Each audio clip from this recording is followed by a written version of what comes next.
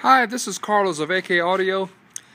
Today we got a box. Uh, this box is actually, this video uh, is actually a, a, part two video. The, the part one video was uh, this box, uh, which was made for Xavier of Uvalde, Texas.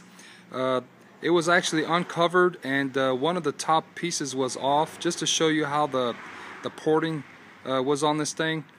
we finally got it finished. we got the logo back here and uh, we put the speaker terminals on top. It's probably seemed like the most sensible place to put it. And uh, there you go. There's there's your six and a half inch uh, subwoofer holes. There's one on each side, and uh, that divide in the center. There's actually a port. That's where the port actually exits. Uh, this this port thing has like uh, it snakes into probably like three four turns, and it finally comes out from that that center there. Uh, so this this box is completed and uh, we finally got it done and and uh, we're gonna ship it over to Xavier so he can uh, take some pics. And uh, I, I, actually posted a picture of his vehicle. It's a real nice car. It's a BMW 2002 BMW M3 convertible. It looks really nice and hopefully this box will kind of complement that. Please visit my website www